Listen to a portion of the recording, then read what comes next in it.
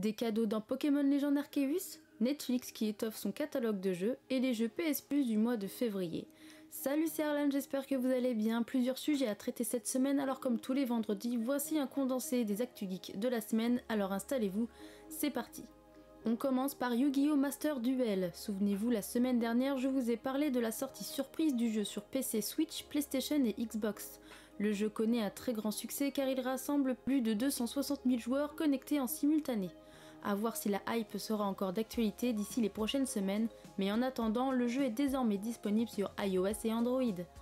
Passons à Netflix qui étoffe son catalogue de jeux mobiles exclusifs. Il s'agit du jeu de cartes Arcanium Rise of Akan. Le jeu sorti pour la première fois sur Steam courant décembre 2020 est un roguelike qui propose aux joueurs de découvrir le monde d'Arzu, un monde fantaisiste où il faut affronter des animaux anthropomorphes. Bien évidemment, le jeu de Super Combo n'arrive pas seul sur la plateforme de Netflix. Il est également accompagné de Crispy Street, une création signée Frosty Pop, au design rigolo, qui inspire grandement de la recette de Où est Charlie. L'objectif ici est donc de retrouver des animaux étranges dans de larges tableaux colorés. Pour rappel, les jeux Netflix sont compris dans l'abonnement, autrement dit, les 12 titres sont accessibles sans aucun coût supplémentaire. Si ce genre de condensé d'actualité t'intéresse, tu peux t'abonner à la chaîne et activer la cloche pour ne pas rater ton rendez-vous hebdomadaire. Continuons avec la licence de Crysis qui refait surface dans les actualités de la semaine. En effet, 9 ans après la sortie de Crysis 3 et de nombreuses années de problèmes financiers, Crytek annonce le grand retour de la licence Crysis. Un premier teaser de cette future production publiée aujourd'hui ne laisse aucune place au doute. Les équipes se remettent au travail afin d'aujourd'hui nous annoncer officiellement que Crysis 4 est en développement. Même s'il faudra attendre pour connaître la fenêtre de sortie et les plateformes, l'annonce a été réalisée à travers un joli teaser évoquant les nano-combinaisons des soldats du jeu, qui s'assemblent petit à petit pour former le chiffre 4. Durant de brefs instants, on aperçoit le casque iconique des soldats d'élite que l'on incarne et un monde en ruine. Pour en apprendre plus sur ce nouveau jeu, Crytek nous invite à consulter un article de blog rédigé par Avni Yerli, PDG de l'entreprise. Le PDG tempère donc les ardeurs des fans en expliquant que le titre ne fait que commencer son développement et que de nombreux postes sont ouverts. Autrement dit, l'équipe de développement est en cours de construction. De nouveaux détails seront dévoilés lorsque Crytek jugera le moment opportun, mais l'ambition est clairement de faire un jeu next-gen et d'être au niveau du premier à son époque, qui était un véritable étalon technique avec sa végétation dense réagissant aux mouvements des joueurs. Parlons maintenant des jeux PS Plus du mois de février. À partir du 1er février aux alentours de 17h, vous aurez la possibilité de vous procurer gratuitement le jeu UFC 4 sur PS4 et PS5. Le jeu d'eSports vous met en cage pour participer à des affrontements impressionnants entre des stars du monde du UFC. On peut notamment compter sur la présence du champion Anderson Silva ou bien sur celle de Brian Ortega. Ici, vous l'avez compris, pour remporter un combat, tous les coups sont permis. Il est donc possible d'exécuter des coups de genoux dévastateurs, de bloquer l'adversaire dans un coin du ring, ou même de l'emmener au sol pour réaliser de magnifiques clés de bras. Le deuxième jeu offert est Tinitina et la forteresse du dragon, A Borderland One Shot Adventure sur PS4 et PS5. Ce jeu vous propose de prendre les commandes de la jeune déjantée et explosive Tinitina pour découvrir son histoire abracadabrante rempli d'ennemis en tout genre, d'insultes et d'hémoglobine. Notez que ce cadeau tombe à pic puisqu'il vous permettra de rattraper votre retard sur ce personnage loufoque qui aura droit à Tinitinas Wonderlands, sa propre aventure à partir du 25 mars 2022. Et pour finir, la version console édition de Planet Coaster, uniquement offert aux joueurs possessant une PlayStation 5, le jeu de gestion des talentueux de Frontier Development propose aux joueurs de construire leur parc d'attractions de A à Z. En effet, en plus de pouvoir bâtir à droite comme à gauche de nombreuses boutiques de souvenirs et des dizaines de manèges et autres montagnes russes, la proposition offre également de nombreux outils pour que vous puissiez façonner votre propre décor. Il ne vous reste donc plus qu'à faire preuve d'imagination. Continuons dans les jeux gratuits avec ceux de la plateforme Amazon Prime Gaming. Premier jeu avec Stellaris.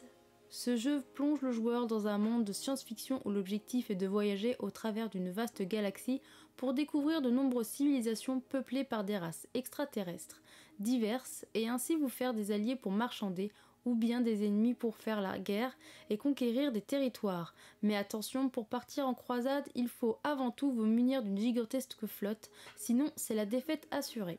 Second jeu avec As Far As The Eyes, Également attendu pour le 1er février 2022, le jeu de gestion vous propose de prendre le commandement d'une tribu pour amener cette dernière au centre du monde.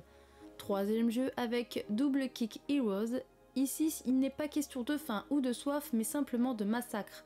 La création étonnante et farfelue de Headbang Club vous emmène directement sur l'autoroute de l'enfer pour massacrer des zombies par dizaines à coups de guitare.